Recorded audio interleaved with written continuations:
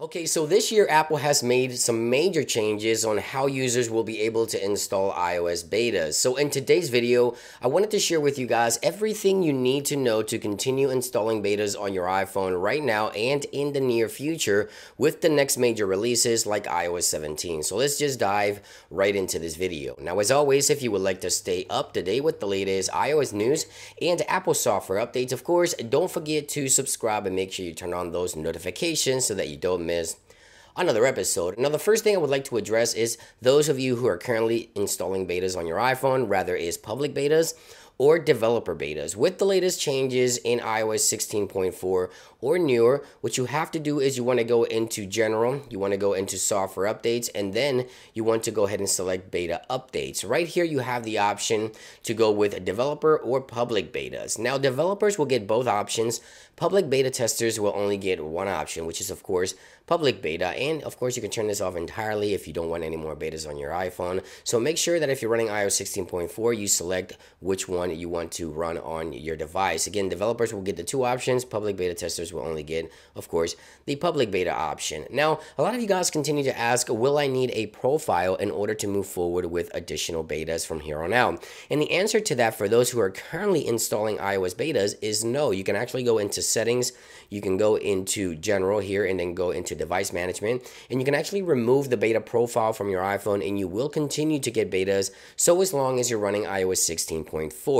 However, if you're running iOS 16.3 or lower, you continue to install that profile as you previously did. Now, next I want to talk about those of you who are currently not running any kind of beta on your devices but would like to test major software update releases like iOS 17. So if you want to test those software this year, later this year, and you're running iOS 16.4 or later by the time Apple releases this software, you have two options. You have public beta and you also have developer beta. Now, there's some major changes between the both in terms of release dates. Now, public beta is entirely free, but you usually get the beta about a month later after developers. So iOS 17 developer beta 1, for example, could be released, let's say, the second week of June. So let's say uh, iOS 17 developer beta 1 releases on June uh, 6th. Let's just say that, for example. Well, public beta testers will not get it on June 6th. You'll get it maybe in July the 3rd or so on. So, so basically 30 days later, but it is free and anyone can join after Apple makes it available to public beta testers, which is this website right here. Is the first one I'll link in the description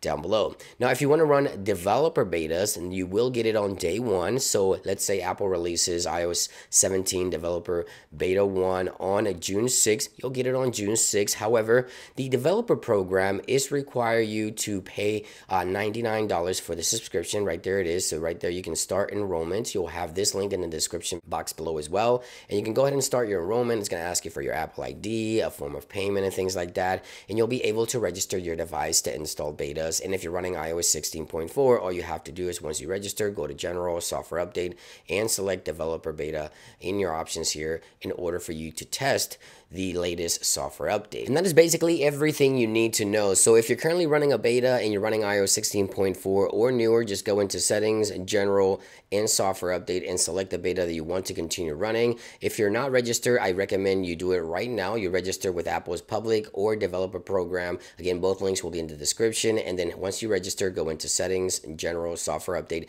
and select the beta that you want to run in the near future, including the next major updates like iOS 17. And that's basically it. Apple getting rid of developer profiles to install betas on your iPhone, unless you're running iOS 16.3 or earlier. Okay, so 16.3 or earlier still require the beta profile. 16.4 or later, just simply select the beta that you want under software updates and beta updates. And there you guys have it. Let me know if you have any additional questions in regards to how you'll be able to install betas in the near future and some of the major updates coming later this year, like iOS 17. I hope you guys have a great day, and I'll see you guys on the next one. Peace.